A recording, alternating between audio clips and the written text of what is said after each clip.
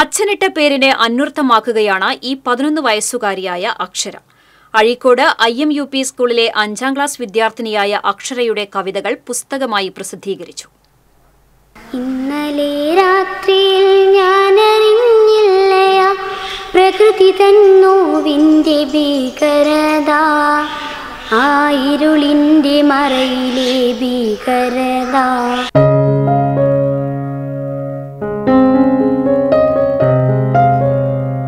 പുസ്തക കച്ചവടക്കാരനായിരുന്ന കൊടുങ്ങല്ലൂർ അഴിക്കോട് മഞ്ഞളിപ്പറമ്പ് സ്വദേശി ചക്കാമാട്ടിൽ അനിൽകുമാറിന്റെ മകൾ അക്ഷര എഴുതിയ കവിതകളിൽ നിന്നും തിരഞ്ഞെടുത്ത ഇരുപത്തിരണ്ട് എണ്ണമാണ് പുസ്തകമാക്കിയിട്ടുള്ളത്. വിദ്യാലയത്തിലെ ടാലന്റ് ലാബിന്റെ പ്രവർത്തനങ്ങളുടെ ഭാഗമായാണ് പുസ്തകം പ്രസിദ്ധീകരിച്ചത്. ഒന്നാം ക്ലാസ്സിൽ പഠിക്കുമ്പോൾ മുതൽക്കേ അക്ഷര കവിതകൾ എഴുതി തുടങ്ങിയിരുന്നു. കോവിഡ് കാലമാണ് അക്ഷരയിലെ കവിയത്രിയെ വളർത്തിയത്. കാഴ്ചവട്ടത്തുള്ള എന്തിനേയും അക്ഷര കവിതകളാക്കി മാറ്റി.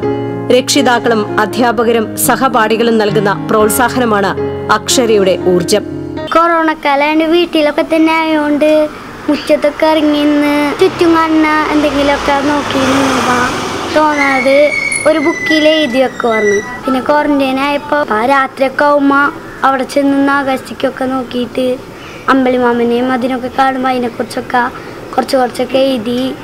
പിന്നെ മൂന്നിലും നാലിലൊക്കെ ആയപ്പോൾ ടീച്ചർമാരെ കാണിച്ചപ്പോൾ ടീച്ചർമാരുടെ ഭാഗത്ത് നിന്ന് നല്ല സപ്പോർട്ട് കിട്ടി. ഇനിയും കുറേ കുറേ എഴുതുന്നൊക്കെ അവർ പറഞ്ഞപ്പോൾ കുറേ കുറേ കുറച്ചും കൂടെ എഴുതി എഴുതി ടീച്ചർമാരെ കൊണ്ട് കാണിക്കുകയൊക്കെ ചെയ്തു. പിന്നെ പഞ്ചിയിലായപ്പോൾ ഇങ്ങനെ പുസ്തകം പ്രകാശനമൊക്കെ ചെയ്തു. വയനാട് ദുരന്തത്തിന്റെ പശ്ചാത്തലത്തിൽ എഴുതിയ വയനാടിന്റെ നോവ് എന്ന കവിത ഏറെ ശ്രദ്ധേയമാണ്. അച്ഛൻ അനിൽകുമാറും അമ്മ രജിതയും സഹോദരി അഞ്ജലിയും അക്ഷരയുടെ എഴുത്തിന് കൂട്ടായിട്ടുണ്ട്. പഠനത്തിലും പാഠ്യേതര പ്രവർത്തനങ്ങളിലും മികവ് പുലർത്തുന്ന അക്ഷര എഴുത്തിന്റെ വഴിയിൽ തന്റെ യാത്ര തുടരുകയാണ്.